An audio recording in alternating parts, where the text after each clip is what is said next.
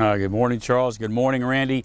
You may not recognize his name, but you certainly know his music. And as the family and friends uh, prepare to say goodbye to Dave Bartholomew today, it really is a Blue Monday in the city of New Orleans. Name that, of course, after one of his most famous songs, just part of the huge contribution he made to the music world, one of the real pioneers of rock and roll. No surprise, you know, the city turned out for a second line to celebrate the life of uh, this New Orleans original. Bartholomew was a, a singer, producer, songwriter, trumpet player, a Lifetime Achievement Grammy Award winner, and uh, has a spot in the Rock and Roll Hall of Fame.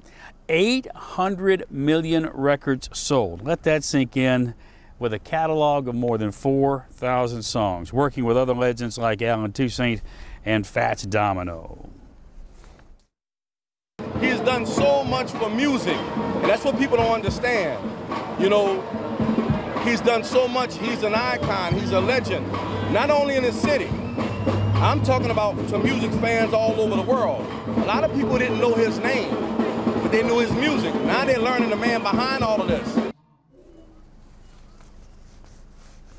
You know, he really was a giant. You put him along Fats Domino, Cosimo Matassa, and others here in the city of New Orleans, and it's the birth of rock and roll. Bartholomew died at the age of 100 years.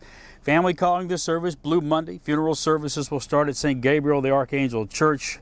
Public invitation at 9 o'clock, followed by an open mass at noon, and then private burial at 1 o'clock music giant being laid to rest here in the city of New Orleans today. We say goodbye, as we all do,